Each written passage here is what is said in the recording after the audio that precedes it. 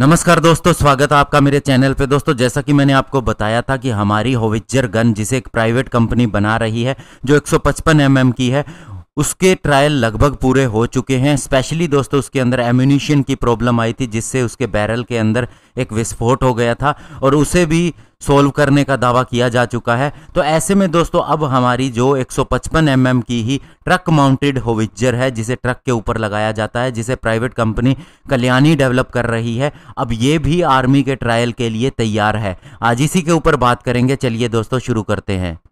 तो दोस्तों, कल्याणी ग्रुप, जो कि दोस्तों एक लोकली ही truck mounted artillery gun develop कर रहा था, जो कि 155 पचपन M M oblique thirty calibre की है, और ये एक अल्ट्रा लाइट होविजर कैटेगरी के अंदर आती है। इसे टी सी ट्वेंटी नाम दिया जा चुका है।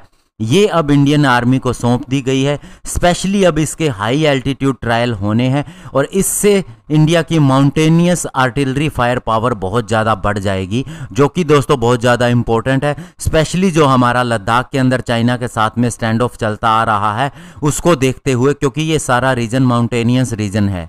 और जहाँ तक इस होविजर की खासियत की बात है तो ये पूरी तरह से स्टील के साथ में बनी है। यानी कि दोस्तों, पूरी तरह से ये एक स्टील वर्शन है। और ये दोस्तों 6.8 टन की कैटेगरी के अंदर आती है और इसकी नॉर्मल रेंज 25 किलोमीटर है। लेकिन अगर इसके अंदर हम असिस्टेड एम्यूनिशन का इस्तेमाल करें तो इसकी रेंज 30 किलोमीटर हो जाती है।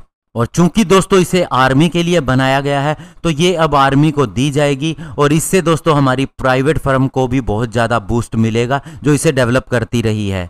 और दोस्तों, अभी तक इसका प्रोटोटाइप ही बनाया गया है, जिसके टेस्ट होने हैं, और ये हमारे नॉर्थर्न सेक्टर से लेके और नॉर्थ ईस्टर्न सेक्टर तक सभी जगह टेस्ट की जाएगी। इसका टेस्ट कम से कम एक साल तक चल सकता है, क्योंकि इसे अलग अलग वेदर कंडीशन के अंदर टेस्ट किया जाएगा।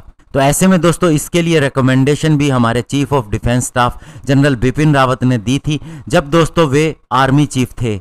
और अब इसे बना लिया गया है, इसके ट्रायल भी सफल रहेंगे, ऐसी हम उम्मीद कर सकते हैं, और इससे हमारी फायर पावर कैपेबिलिटी बहुत ज़्यादा बढ़ेगी। धन्यवाद, जय हिंद।